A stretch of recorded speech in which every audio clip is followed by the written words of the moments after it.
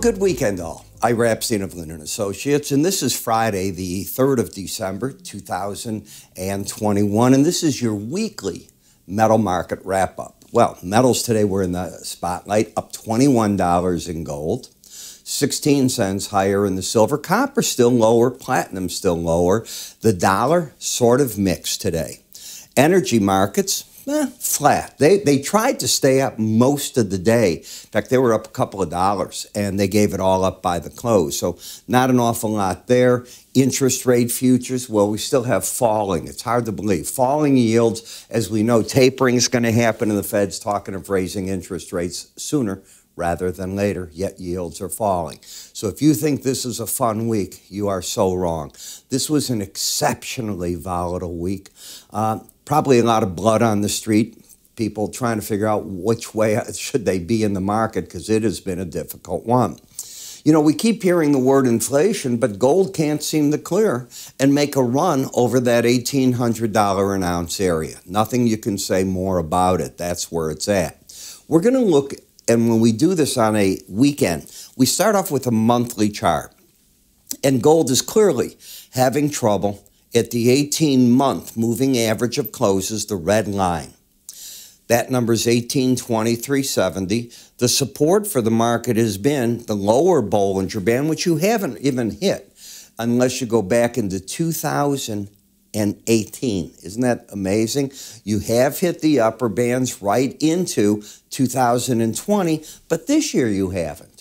So you've been void of hitting those, and you've been really far away from the 100 I'm from the 100 month moving average. I almost said week. The 100 month and the 200 month. A lot of sideways action. You can't say that gold for the past year has gone really anywhere. It's just been whipping back and forth around that 18 month moving average of closes.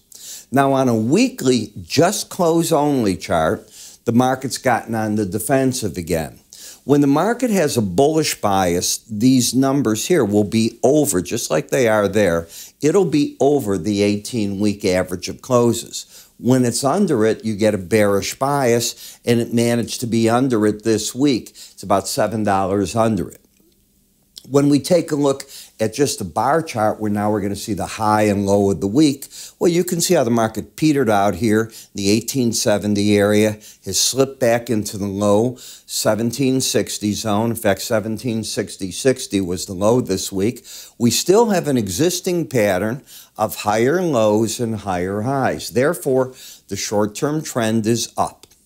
Take out 1758.50, that is gone. Number two, the battleground seems to still be the 18 week average of closes in red, the 100 week. This is battleground zero. So, in order for the market to be back to a bullish stance, you need to close over 1789.90 by weekend. That without taking out 1758.50. That would keep in play the higher lows, the higher highs. Number two, the market, if you look on this chart at Bollinger Bands, you've hit the upper Bollinger Bands on the weekly chart. You've hit the lower bands on the weekly chart. Very different than the monthly. So you've been traveling back and forth, and you can see that on, after hitting the last upper band, the market pulled back into the support area. That's how I view it momentum is working against the market. It is clearly pointing to the downside. The positive is when it was up this way, the market was getting overbought. It's no longer in that, but you need it to flatten out, and the only way it's going to flatten out is you get a bump in prices. Now, what would I think get initially the bulls excited? I say the bulls because it's easier to be bullish than bearish. Why? Even if you take out 1758.50, you'd have a straight drop. It's very hard to trade that. It's called a vertical price break. Where do you come in? If the market doesn't take that out and this week's high of 1808 is taken out, traders will then say, ah, look what happened. Higher lows, higher highs. You still have the 18 week average over the 100. That's the theory. And price now is created this is another break low that's higher than that one. They get excited about that. I'm not saying it will happen, I'm giving you the what if scenario. In the gold silver ratio, this does not bode well for bull markets. Typically, bull markets get silver and gold going together. Right now, silver is racing ahead of gold. That is a bearish indication. Silver is not trending at all. The silver market has got a pattern, just follow the swings. That's why it's called a swing line study that I created, a higher high and a lower low. This is all taught in my charting course, by the way. And let me remind you, my Cyber Week special ends right now.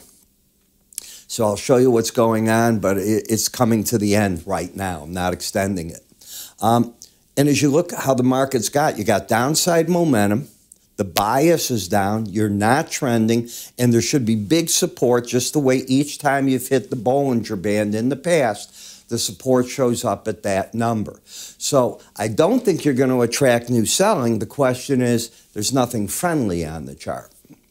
In the copper market, you're starting to act bearish. I haven't said that word on a long term copper chart in a while. See, down here, you were trying to base to do this. You did that move. Now, unfortunately, you have lower highs, lower lows. I'm in the bear camp now, and momentum down until you get back up and over last week's high of 450.05. I am looking for this market potential back to the 409 and a half zone. In the platinum, you've hit the downside target. You went right into the lower band uh, and the 200 week average. For me, that's enough. That could be good in the sense that one of the markets, at least, has just had this vertical price break from a Bollinger Band high to basically the low. Maybe it's exhausted itself. Last in the dollar index, strength. The dollar's winning by default. We're the country talking about raising interest rates. We still have the economy that is growing. Our Fed has taken a complete 180 degree shift. The word transitory doesn't exist according to Fed Chair Powell. It's not transitory inflation, it's inflation right now. He still expects the second part of 2022 to see a weakening of this inflation cycle, but how high does it go in the meantime?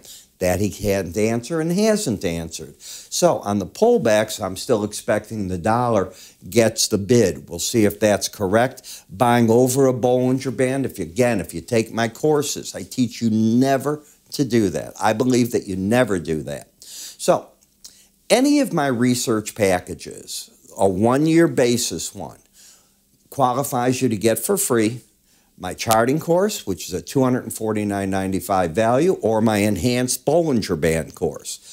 You will learn all the different techniques that I have 50 hours worth of video in one course, quite a few hours in the enhanced Bollinger Band. It's oh, not even a lot of hours, it's just a lot of good work in it, I got to tell you. And you really learn. That's the key to it. And then you apply it to your own thinking.